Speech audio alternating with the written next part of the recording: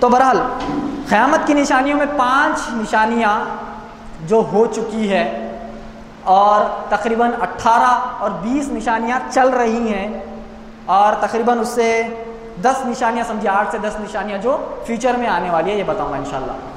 पाँच निशानियाँ जो हो चुकी है, वो क्या है? नबी अकरम सल्लल्लाहु अलैहि वसल्लम का इस दुनिया में आना। क्या है क़यामत की? निशानी है। पहली हो गई, जो हो गई। नबी अकरम सल्लल्लाहु अलैहि वसल्लम का इस दुनिया से गुजर जाना, ये क्या हो गई? दूसरी हो गई।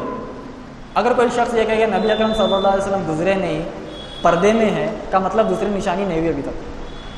अगर वो ऐसी पर्दा रहते रहते रहते क़यामत आ गई, का मतलब बिना निशानी हुई क़यामत आ सकती? नहीं आ सकती। तो सिंपल लॉजिक यहाँ अप्लाई कर लिया तो खत्म हो गई बात। सिंपल सोलर सिस्टम समझ गए तो खत्म हो गई बात। समझ जाते कि वहदतुल वजूद का कोई मामला नहीं, अल्लाह सुबहाना ताला कहाँ है? अर्श के ऊपर है।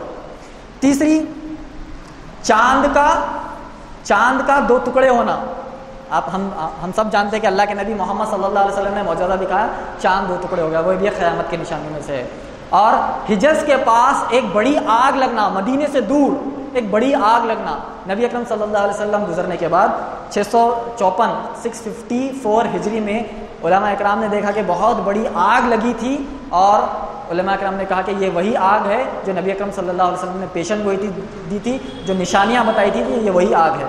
और पाँचवीं, एक बीमारी आई थी, जिसका नाम था अम्बस उमर बिन खत्ताब रज़ी अल्लाह के दौरे खिलाफत में एक बीमारी आई थी, जिसका नाम था प्लेग। प्लेग की बीमारी होती ना प्लेग प्लेग ऑफ़ अंगस था उसका नाम, जिससे कई सारे मुसलमान मर गए थे। तो ये क़यामत की निशानियों में से था जो पाँच हो चुके हैं।